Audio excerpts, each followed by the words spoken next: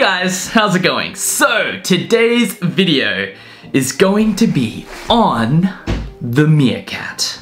Oh, oh, oh. So the Meerkat is Betty Gallegos' signature yo-yo. And this shape is very reminiscent of a shape that you guys all know I love, which is the shape of the outlier. This is an inner ring design. They've kind of taken it to the next level. Let's see how this thing plays.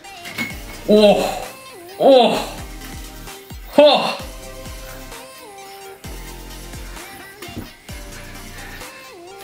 Damn. Damn, this is a, all right.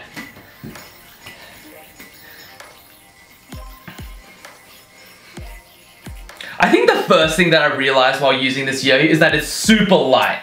Like, um, the uh, the outlier was also designed to be quite a light yo-yo. I don't know the exact weight of this yo-yo, but I'll, I'll put it up there. But I, I, the immediate feeling I get from playing this is that it is light. Um, and that is also factoring in the idea of um, the, the irony. So the irony itself was, was literally just a monometal yo-yo. And playing with this, I, I can't even tell it's a bimetal. It, it does have a powerful weight distribution, but it is super, super light. Let's, uh, let's really put this thing through its paces. Ooh. Ooh. Lacks a little bit of spin time. Um, in a horizontal format. Ooh. Uh, uh. Okay, alright. You see, this this was this was one of the reasons why I was kind of against the whole inner ring design thing because I don't know, when it has an inner ring for some reason, something happens to it when it goes horizontal. I'm not sure what it is, but there seems to be something, something about the inner ring that just doesn't vibe well. Um, so, I, I definitely like this yo-yo, but I feel as if, maybe it's the bearing inside of it. It does have kind of a center track. I don't know. Does die a little bit fast when it comes to horizontal.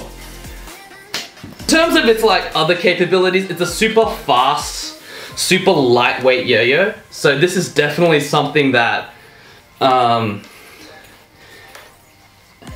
ooh, had I been looking for something that was very similar to the irony, I would have probably picked up and be like, yeah, this is solid.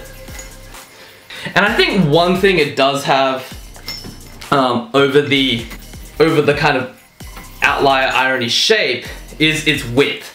It is quite wide. It, it's wider than both of those yo-yos.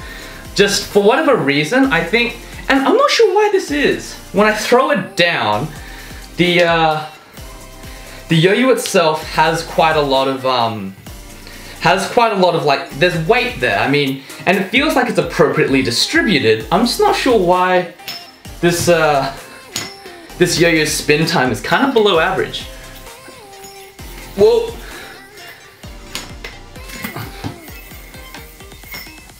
But hey, oh, the meerkat. I like it. I really do. I like the shape.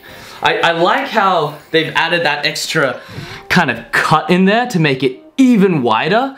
Um, I think the only thing for me with this yo-yo is that it's um it's kind of dying a little bit fast on me. But hey, I mean, Betty can get it to do crazy tricks.